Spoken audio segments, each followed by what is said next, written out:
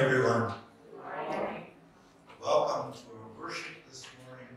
It's good to see you all here. A few announcements as we get started. First of all, um, I know it is the first early in the month of February, but we still have two calendars, two of our church calendars for sale for twenty dollars each. So if you don't have one yet, you might consider getting one. Um, just ask help out there. If you wish a preview, they are sitting on the table in the narthex. Coming up at the end of this month, we begin Lent. And for Lent this year, we are going to have all our services here together with the Finnish worship downstairs. The English worship in conjunction with Trinity will be held up here. Now, to celebrate all of this coming together after years and years of pandemic, we are going to be having soup suppers again, and we are looking for people to make a pot of soup, just one, because Trinity will be furnishing the other one every week. So we will be having supper at five thirty, and worship begins at six thirty. And spread the word far and wide that we're having supper. And please consider making a pot of soup. I also have a letter from our bishop. Oh, and also from Keith Myra, the Eastern Synod treasurer. So, um, I'm going to read you the bulk of it. The story of the feeding of the 5,000 is a reminder of how good and gracious and generous our God is. God takes a small offering of a child and does something great and miraculous with it. We are so blessed to be the recipients of God's graciousness and abundant generosity throughout our lives. God is good. We have just closed the books on the fiscal year of 2022, and we want to write you to thank you for your continued financial support and generosity. Thank you for your loving and faithful expression of stewardship and generous giving, which continues to shine through this ongoing, challenging time. We feel your partnership, and we are so very grateful for your financial support, and indeed for all the ways you support our ministry together.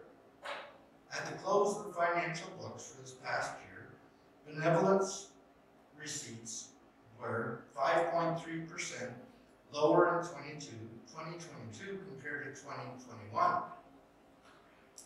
The Synod had budgeted for a 2% decrease, so this represents a steeper decline in benevolence offerings than what was anticipated. This is difficult news and a trend we will watch carefully, but at the same time, we do not lose hope. Generosity is a spiritual discipline, and we continue to live out a grateful response to our generous and loving God, no matter the circumstance. If the offerings of five loaves and two fish and be turned into a feast to feed thousands, then we remain steadfast in our faith that God will continue to act abundantly with our offerings too. For your ongoing faithfulness, generosity, and partnership in ministry, we remain so, so grateful. Faithfully yours, Bishop Michael J. Pryse and Keith Myra, Treasurer. So I want you to know, we are appreciated. That's what I get out of this letter. And uh, our gifts to Synod office are appreciated as well. I think that covers all of our announcements for this morning. Our opening dialogue based on Psalm 112 is found in our bulletin and I ask you to join me. The grace of our Lord Jesus Christ, the love of God, and the communion of the Holy Spirit be with you all. And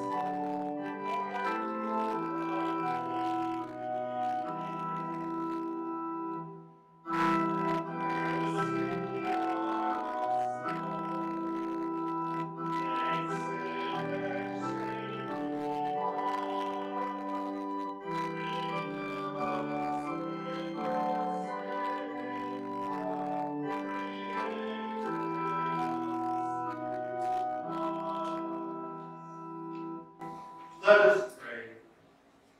Lord God, with endless mercy you receive the prayers of all who call upon you. By your Spirit, show us the things we ought to do and give us the grace and power to do them. We ask this through Jesus Christ, our Savior and Lord. Amen. Please be seated for the reading. A reading from the book of Isaiah. Shout out, do not hold back. Lift up your voice like a tr- trumpet. Announce to my people the rebellion, to the house of Jacob their sins. Yet day after day they seek me and delight to know my ways. As if they were a nation that practiced righteousness and did not forsake the ordinance of their God. They ask of me righteousness judgments. They delight to draw near to God. Why do we fast, but you do not see? Why humble ourselves, but you do not notice? Look, you serve your own interest on the fast day and oppress all your workers. Look, you fast only to quarrel and to fight and to strike with a wicked fist. Such fastings as you do today will not make your voice heard on high. Is such the fast that I choose the day of hum- to humble oneself? Is it to bow down the head like a bulrush and lie in sackcloth and ashes? Will you call this a fast, a day acceptable to God, to the Lord? It is not this fast that I choose. To lose the bounds of injustice, to undo the th- uh, thongs of the yoke, and let the oppressed go free and break every yoke? It is not to share your bread. Is it not to share your bread with the hungry and bring the homeless poor into your house? When you see the naked, to cover them and to hide yourself from your own kin. Then your light shall break forth like the dawn, and your healing shall spring up quickly. Your vindicator shall go before you. The glory of the Lord shall be the, uh, your rear guard. guard. Then you shall call, and the Lord will answer. You shall cry for help, and he will say, Here I am.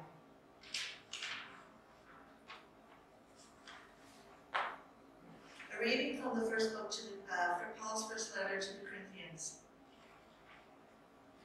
When I came to you, brothers and sisters, I did not come proclaiming the mystery of God to you in lofty words of wisdom, For I decided to know nothing among you except Jesus Christ and Him crucified. And I came to you in weakness and in fear and in much trembling. My speech and my proclamation were not with plausible words of wisdom, but with a demonstration of the Spirit and of power, so that your faith might not rest, rest on human wisdom, but on the power of God. Yet among the mature we do not speak wisdom, though it is not a wisdom of this age or of the rulers of this age who are doomed to perish. But we speak God's wisdom, secret and hidden, which God decreed before the ages of our, for our glory. None of the rulers of this age understood this, for if they had, they would not have crucified the Lord of glory. But, as it is written, what no eyes have seen, nor, nor ear heard, nor the human heart conceived, what God has prepared for those who love. These things God has revealed to us through the Spirit, for the Spirit searches everything, even the depths of God. For what human beings know what is truly human except the human spirit that was within? So also no one comprehends what is truly God except the Spirit of God. Now we have received not the Spirit of the world, Spirit that is from God, so that we may understand the gifts bestowed on us by God. The word of the Lord. Thanks be to God. Please stand as you are able for the reading of the gospel.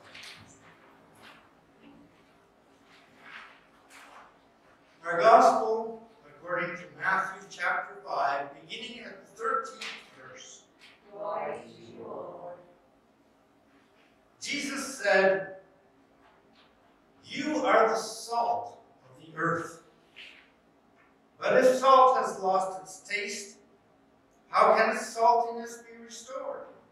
It is no longer good for anything, but is thrown out and trampled underfoot. You are the light of the world. A city built on a hill cannot be hid. No one, after lighting a lamp, puts it under a bushel basket, but on the lampstand, and it gives light to all in the house. In the same way, let your light shine before others, so that they may see your good works and give glory to your Father in heaven. Do not think that I have come to abolish the law or the prophets. I have not come to abolish, but to fulfill. For truly I tell you, until heaven and earth pass away, not one letter, not one stroke of a letter will pass from the law until all is accomplished. Therefore, whoever breaks one of the least of these commandments and teaches others to do the same will be called least in the kingdom of heaven.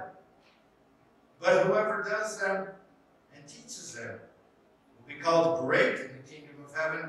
For I tell you, unless your righteousness exceeds that of the scribes and Pharisees, you will never enter the kingdom of heaven. The gospel of our Lord. Praise to you, O Christ. Please be seated.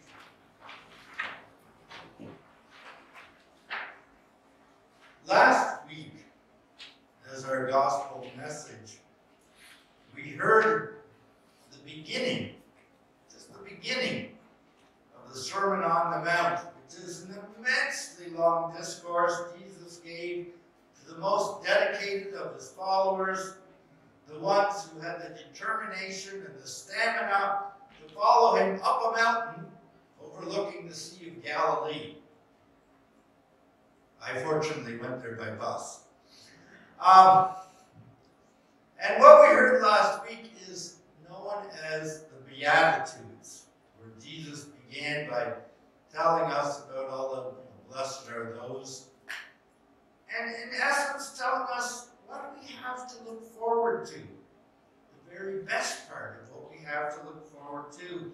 And then today he continues onward, and we begin hearing about what is expected from those who see those benefits. Now, Jesus isn't saying that you have to do all these things before there is any payoff. I mean, this isn't a work for rewards program here.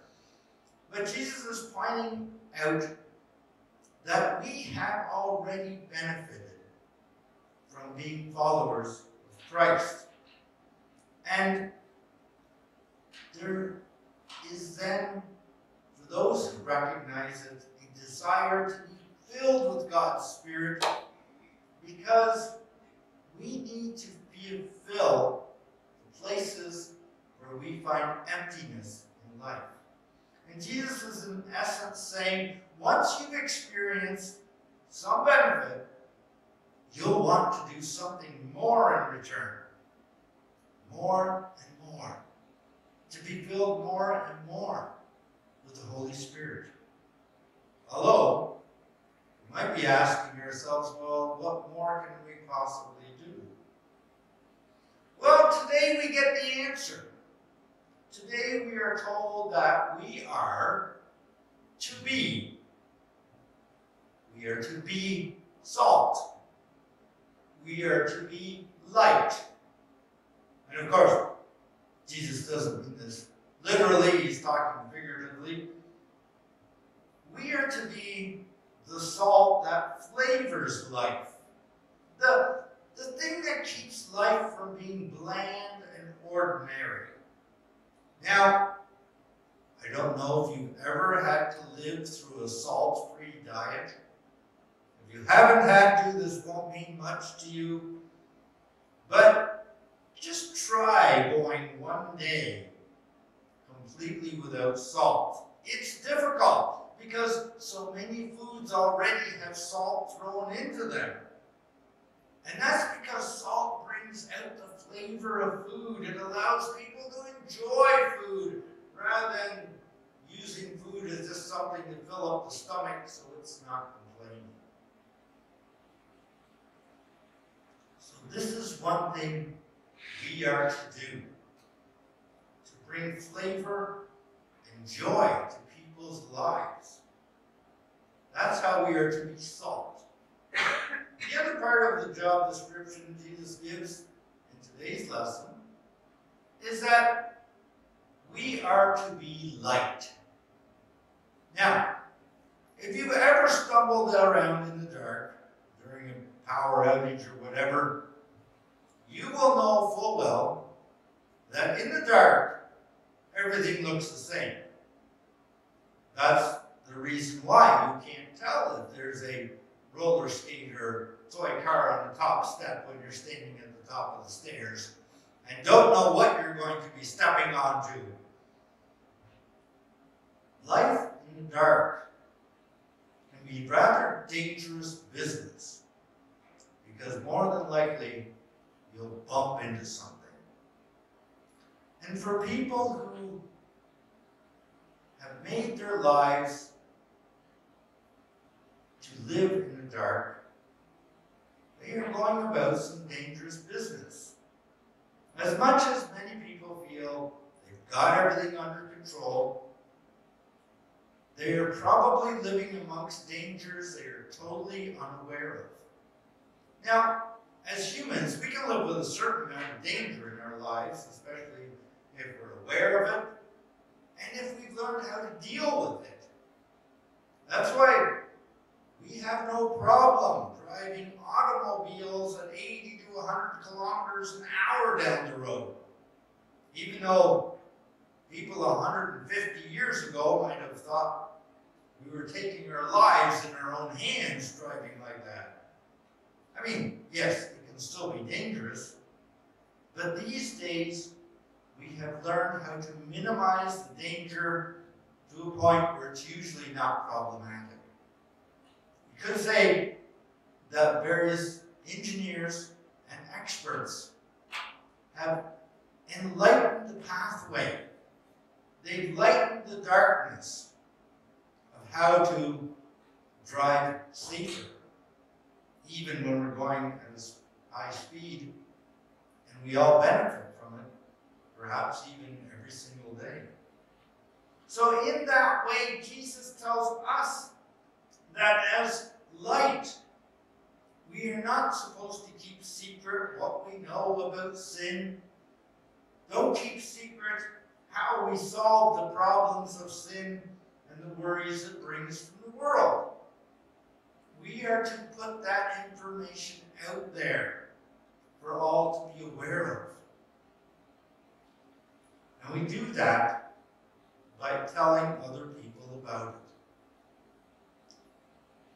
it. And by showing other people how it's done. It can be difficult to admit when we were in need of forgiveness, for example. It can be difficult to admit we have done something wrong. But when we do admit, when we do ask for forgiveness, or when we forgive someone, we are showing God's light to the world. So, as followers of Jesus, our job description then is to act as salt and light because we have already been seasoned and enlightened by the Holy Spirit. Now, let me ask you a question. Where do we find the salt and light in our congregation? What is God up to among us here right now? So often, when asked those kinds of questions, what is God doing? We have a tendency to look back at what once was, how things were, at our former successes and accomplishments as a congregation. You know, the days once upon a time when we had Sunday schools, loads of youth, many responding to the call for church council. That's coming up soon, by the way. And it seems like it was easy. What we often forget is that those times have come and gone. We live different era now. Even the place of the church congregation society has changed. We can't go back to the so-called glory days of the 50s and 60s. Maybe I need to clarify the 1950s and 60s that a lot of people recall. To truly be salt and light in this world, now, we have to move forward. And to do that in a time when people don't come to us anymore for salt and light, it means that we have to move out into the community and bring it to them.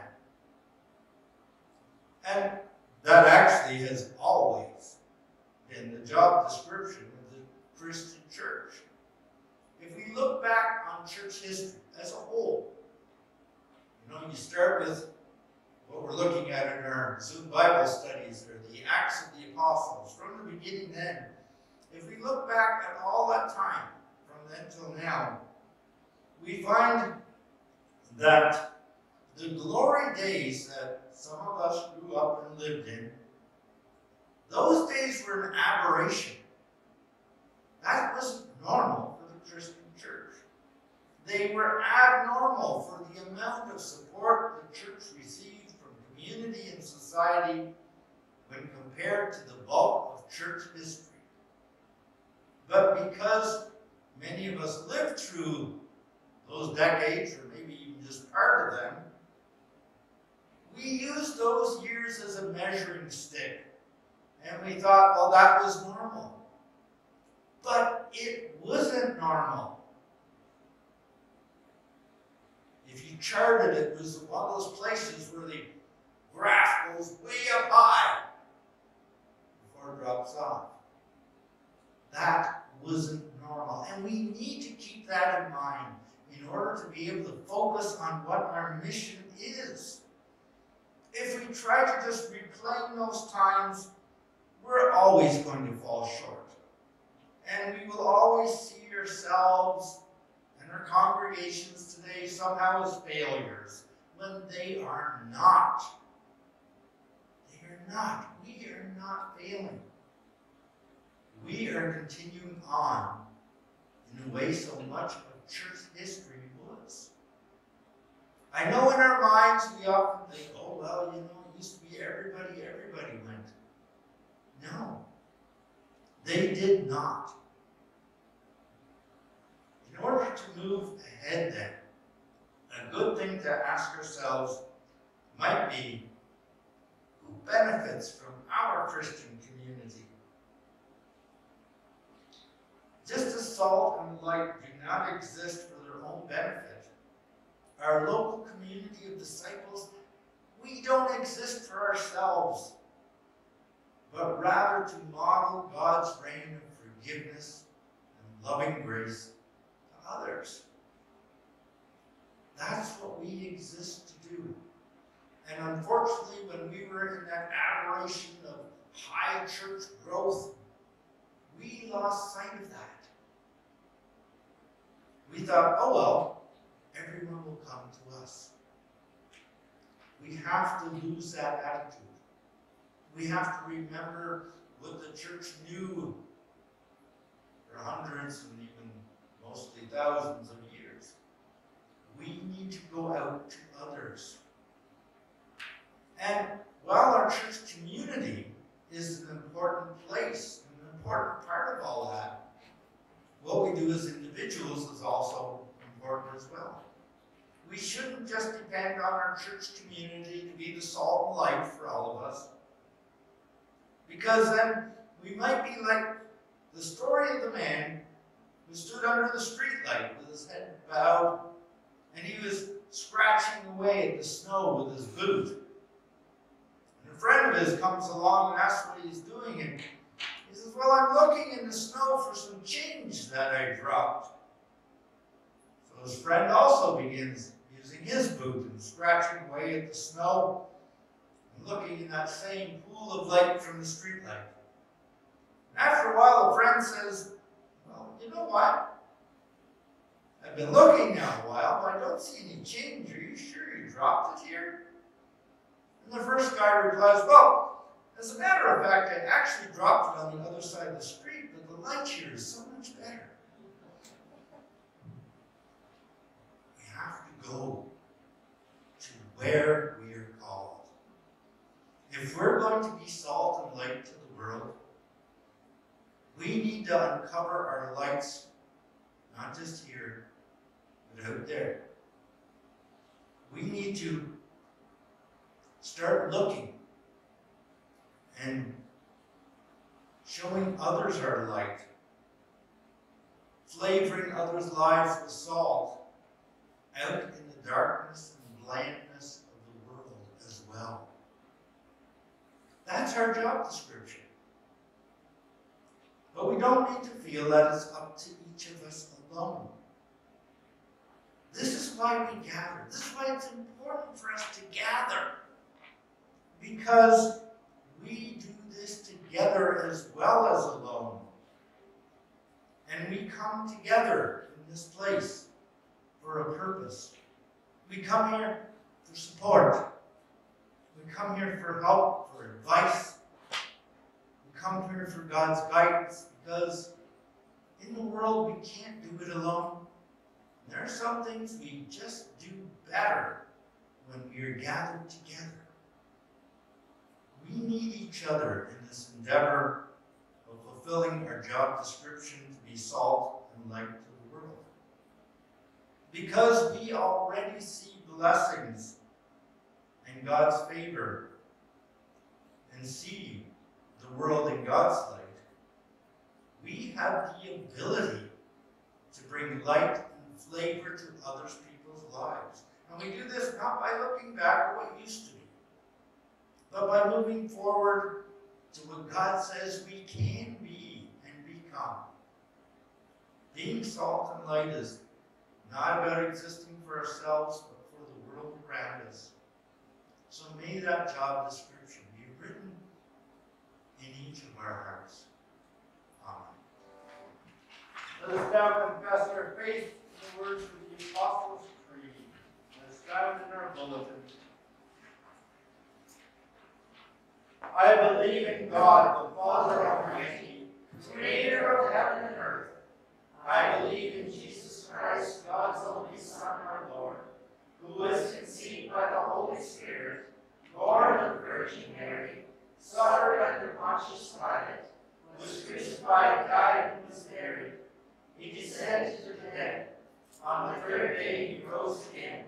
He ascended into heaven. He is seated at the right hand will come to judge the living and the dead. I believe in the Holy Spirit, the Holy Catholic Church, the communion of saints, the forgiveness of sins, the resurrection of the body, and the life everlasting. Amen. Let us pray together our offering and prayer as found in.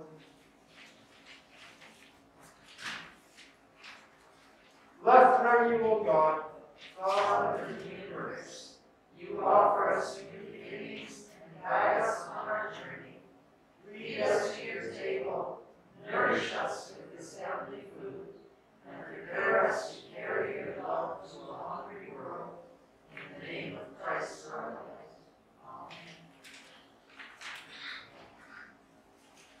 Amen. We've great thanksgiving. We begin page 200. And also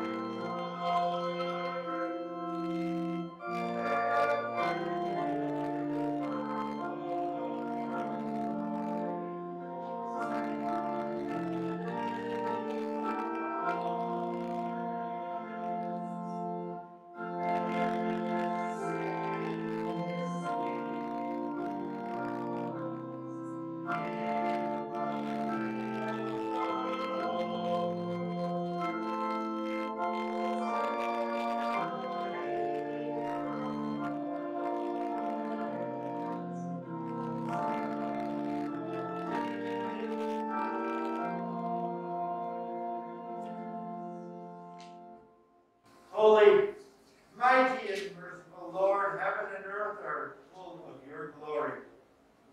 In great love, you sent to us Jesus, your Son, who reached out to heal the sick and suffering, who preached good news to the poor, and who on the cross opened his arms to all.